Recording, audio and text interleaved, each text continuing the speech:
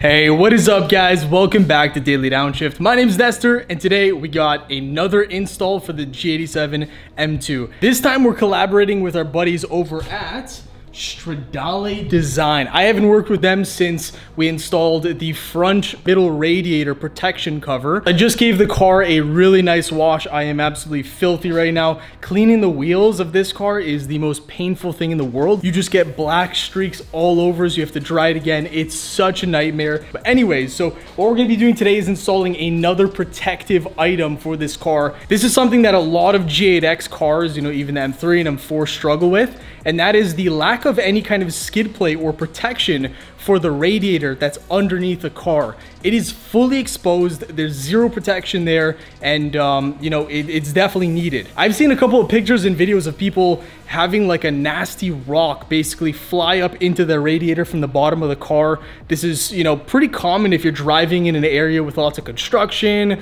There's a possibility that one of these rocks or any kind of debris could just fly up, hit the radiator fins and really make a strong impact. And if it does, GG's. Your, your car is basically written off because you're going to have a fluid leak. That fluid is obviously what you don't want to leak out of your car uh, if you get a punctured radiator. And if it does, like I said, you're screwed. This is a product that is going to protect it. It is carbon fiber. And in addition to that, it is also going to create a negative pressure area because of the way it's designed with the fins. That'll give you a little bit of actual downforce um, and it'll counteract the effects of lift when you're driving very fast on track or whatnot. Oh, and one last thing before we slice open the box, guys, I do have a discount code if anyone is interested in this product. Normally it's a thousand bucks, but I have a 10% off discount code. So if anyone's interested, use code Daily Downshift. That'll save you 10% off this and actually anything on Stradale Designs websites. Can I do this with one hand?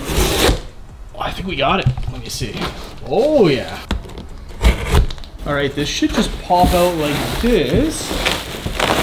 Oh yeah. The one thing that really, really has me a little upset is the fact that this is such a nice product, you know, beautiful carbon fiber and whatnot, and it's gonna be on the underside of the car just taking damage, man. That's the one thing that, you know, I kind of hate. I absolutely love looking at carbon fiber. It's on the underside, obviously, so rocks are gonna be flying up, debris and all that stuff, but that's what it's for, right? It's for protection, so whatever. And here it is, ladies and gents. So as you can see, it's not a, uh, a glossy finish, which makes sense because it doesn't have to be, right? It's gonna be on the underside of the car. Underside looks like that. You got a logo over here.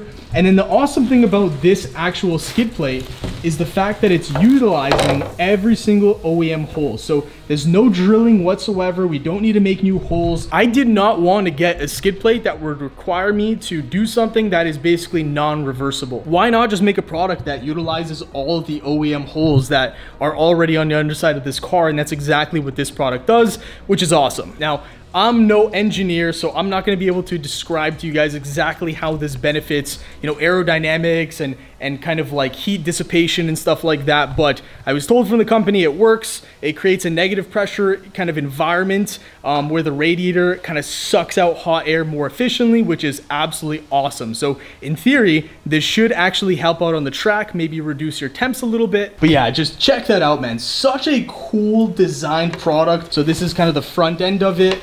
And as you can see, those are the fins right there. And I believe, I don't know for sure, but I believe there's actually gonna be room in the front here for that rubber guard that's already on the car. Let's go ahead and get this car jacked up.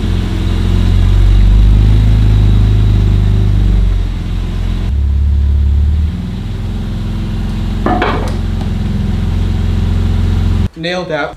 That's a little sketchy, but I think it'll be okay we'll survive. Anyways, let's go ahead and take a look at what is underneath here, um, what we have to take off, uh, if anything, honestly. I imagine we're just going to have to take out a bunch of 10 millimeter screws and then put this on. It should be pretty easy, but let's see. Oh, wow.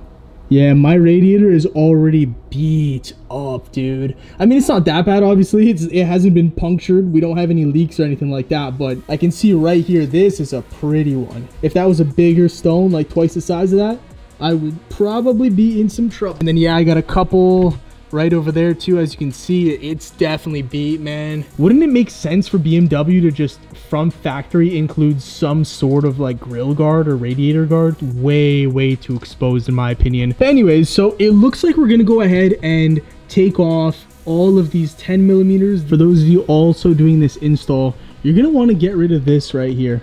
This plastic piece that runs all the way along there.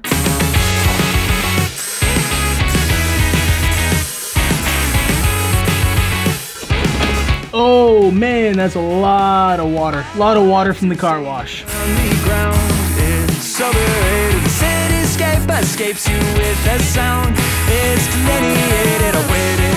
So much water. Oh my god. You just got to go ahead and move all of these over onto the Stradale piece and then it'll be ready to go and yeah, very simple install, honestly. And 30 seconds later, we got all these housings on in all the right places. There's eight of them in total. That's gonna just slot underneath my front lip, underneath here. Let's go ahead and slot this thing in and I cannot wait to see what it looks like. And yes, it's depressing because we're never gonna be able to see this thing, but I got the peace of mind as well as hopefully a little bit of uh, better performance. Oh yes, it's just sliding into place perfectly. Okay, yeah, I think we're I think we're basically good in the front here. Guys, this has been the easiest install I've had in a long, long time. There's no hiccups, all the bolts are lining up perfectly, and we are in business, guys.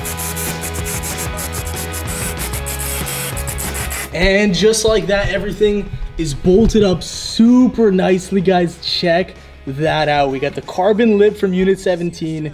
And then, of course, we have the beautiful Stradale design radiator skid plate protector. It looks like a proper race car with those fins, man. I absolutely love it. And the best part is that they're functional, not just a design cue. So yeah, that's how it kind of looks from the side, guys. As you can imagine, you know, if rocks are just bouncing up, they're gonna bounce on the ground, hit this way, and they're just gonna bounce right off. So everything is lining up beautifully. Right now, I'm just throwing in all these screws, and then we'll bolt them down tightly in a second.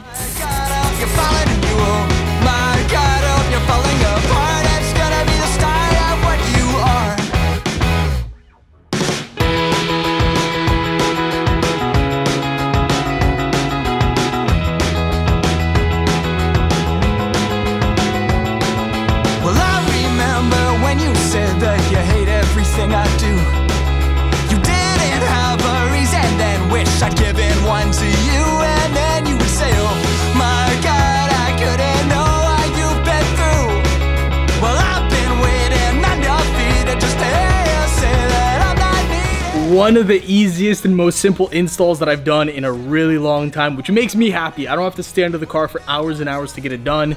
Whatever the highest rating is you could give them, that's what I would give them. Great fitment, the install super easy, and I mean, just look at how gorgeous this thing looks underneath the car, man. Like, I'm depressed that I'm never gonna be able to see this. Man, this is so, so beautiful.